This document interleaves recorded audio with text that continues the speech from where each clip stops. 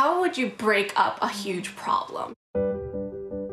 How do you take it, digest it, and figure out what are digestible pieces you can go after? Our client is nonprofit, so it's like extra more meaningful for us to help them grow revenue so that it can go back to the community. Kind of this idea of being able to autonomously redistribute scooters was something that we thought would happen in the future. We're working with a company that's really passionate about increasing equitable access to employment opportunities across college campuses.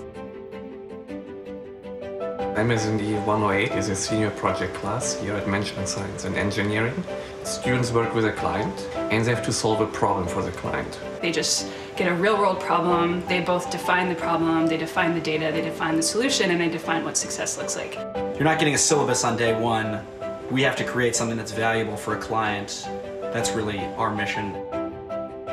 The MS&E Senior Capstone Project really brings it into three main buckets, which is first you have your quantitative analysis, and then you have to translate that data into a more qualitative strategy, and then you have to be able to communicate and share those ideas with the rest of the world. That's something that MS&E does really well is gives you kind of the arsenal, the toolkit that reaches across a lot of different boundaries so that you can break a really unstructured problem down into a well-scoped problem and, and ultimately deliver an action plan. Our project really boiled down to using data in a more effective way. Mainly we wanted to figure out what performance drives success on the field in the program. We've created this website where players are able to input their data and then right away receive whether they would be projected to be a starter or non-starter um, based on a logistic regression model that we created. We will deliver like a simulation of whether you intervene based on our model rather than randomly reaching out to clients. They use state-of-the-art machine learning intelligence systems to find out what are the key elements again that drive people to leave this platform.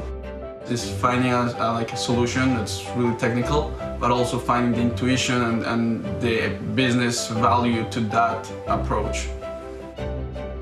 Our advisor was, was Markus Pelger. He kind of described his own role as being an advisor to a group of advisors to a company. The faculty advisors help the students frame the problem that they're working on, how to think about ways of collecting data, applying MS&E toolkits to the kind of analyses that they need to do, and then we'll help them sort of frame the solution at the end in the most kind of compelling and powerful way that they can. Our advisor is Rita Katila. Talking with her about how do we take kind of like all this data that we've gathered and turned it into an actual like action plan was this really big aha moment for all of us. Some of the big ahas was kind of with myself. And it's like, wow, I can actually do this. These are very useful tools. I can use these tools for the rest of my life. It's a very cool feeling to, to have that knowledge and power. Hopefully with the analysis that we've done, they can do what's being done now in a much more efficient way and in a way that uh, greatly improves the lives of many citizens. I'd really love for this to be able to be on a national scale, to take it to every school in the country, to be able to help programs improve their evaluations and help optimize the way that they go forward in training. So this project is directly related to what I will be doing next year. This project is quite similar to what I'll be doing in the future. I think that presentation skill and, and uh, working on a team and kind of all coming together for that 12, 15 minute presentation is, is really special.